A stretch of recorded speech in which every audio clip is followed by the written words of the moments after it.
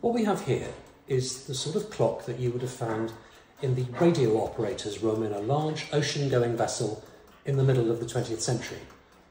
The sort of size ship that be travelling long distances, perhaps across the Atlantic or Pacific, and the kind of distance that would mean the need to change time on clocks around the ship during that journey.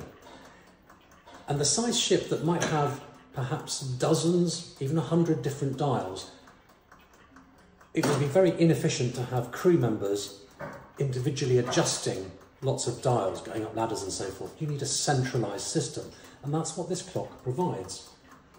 The mechanism to the left counts out half minute intervals and sends out electronic pulses to all of the dials around the ship which are connected in series, like this one.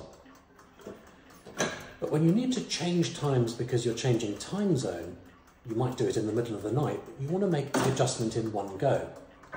The right hand part of the mechanism allows us to do that. So for example, say we just want to add a couple of minutes. We dial that up on this dial, press advance, and all of the adjustment is made in one.